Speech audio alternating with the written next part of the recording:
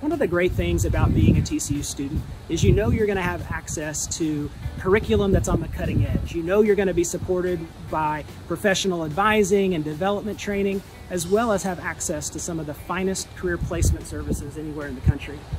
What we're doing today is very exciting because we're launching an all new Master's in Science of Business Analytics degree, which can be completed in just one year and it'll be open to qualified graduating seniors from any of the schools and colleges here at TCU, as well as students from the community who have the opportunity and desire to add to their skill set with a graduate business degree to increase their job prospects. Uh, we talk to employers all the time. This is uh, a skill set that is increasingly important, but in such short supply. And so we want to prepare our Horned Frog graduates to add value upon graduation, to step into those leadership roles, and really lead companies uh, in their ability to access data, analyze data, deploy data, and use it for better decision making that'll help them create value.